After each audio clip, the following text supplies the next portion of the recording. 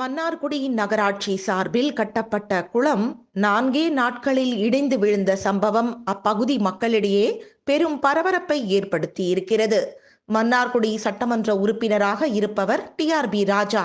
மன்னார்குடி நகராட்சி சார்பில் கலைஞர் நகர்ப்புற மேம்பாட்டு திட்டத்தின் கீழ் ரூபாய் ஒன்று புள்ளி இருபத்தி நான்கு கோடி செலவில் ருக்மணி குளம் கரைகளை வலுப்படுத்தும் விதமாக கல் சுவர் அமைக்கும் பணி நடைபெற்று தொன்னூற்றி ஐந்து சதவீத பணிகள் முடிந்துள்ளது.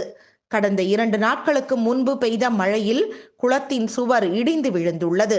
தகுதியில்லாத ஒப்பந்ததாரர்களை பணியில் அமர்த்தியதே இதற்கு முக்கிய காரணம். ஏதேனும் ஊழல் நடைபெற்று இருக்கிறதா என்பது குறித்து விசாரணை மேற்கொள்ள வேண்டும் என சமூக ஆர்வலர்கள் கருத்து தெரிவித்து வருகின்றனர்.